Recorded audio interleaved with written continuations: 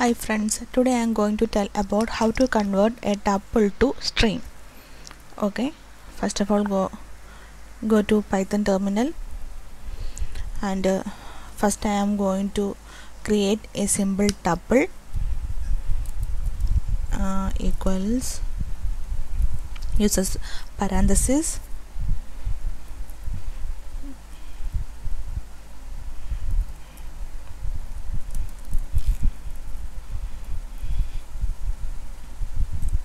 okay.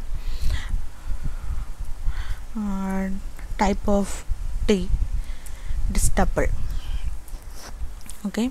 Then I am going to convert the tuple t to a string using join method. Okay. St equals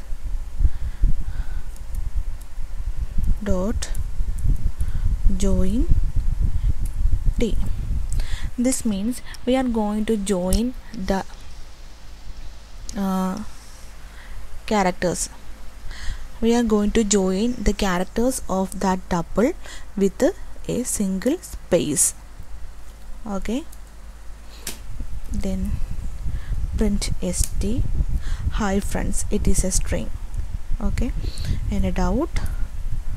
I will show you the type of st